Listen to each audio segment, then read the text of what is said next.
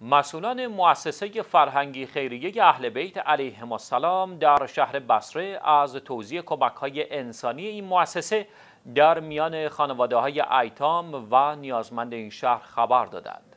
به گزارش شیویوز به نقل از مسئولان این مؤسسه کمک های خیریه شامل مقادیری گوشت، لباس، بخاری های برقی و مساعدت های نقدی بود. این مؤسسه اعلام کرد که برنامه های خیریه با عنایت به فرمایشات مرجعیت شیعه آیت الله العظما سید صادق حسینی شیرازی دامزلو مبنی بر رسیدگی به امور خانواده های نیازمند صورت پذیرفته است.